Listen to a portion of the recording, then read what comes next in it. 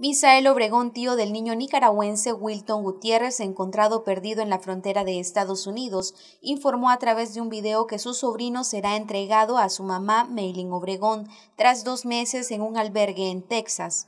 Para la noticia de Wiltito, tengo la mejor noticia del mundo. Mi niño lindo, gracias a Diosito lindo, será liberado el día de hoy. Me siento feliz, me siento contento, me siento emocionado le doy gracias a Diosito lindo, Dios mío eterno, por verlos conseguido este milagro, por ver hecho que Wiltito regrese con su madre, Señor. Te doy gracias, Señor, infinitamente, por todo lo que el niño tú lo has protegido en todo momento, Señor. Y gracias por verlo liberado. Gracias, Padre Santo, porque tú es el único que libras al niño de todo peligro, a los niños, al mundo, a todos, de toda cosa, Señor. Gracias Padre Santo, sigue protegiendo al niño para que tenga en este país gran bendición y sea un hombre de bien. Es lo que te pido, Señor. Bueno, mi gente, milagro cumplido gracias a mi Diosito lindo.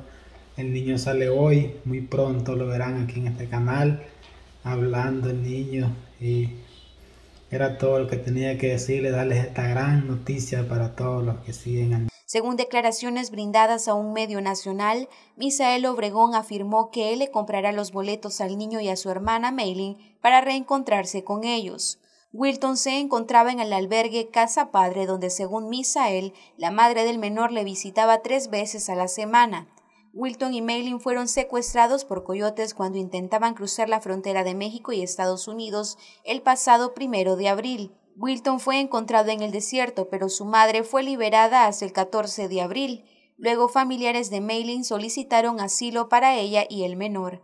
Hasta el momento se desconoce si el proceso legal sigue en pie o si han tenido algún avance en esto. Para Noticias 12, Gabriela Solórzano.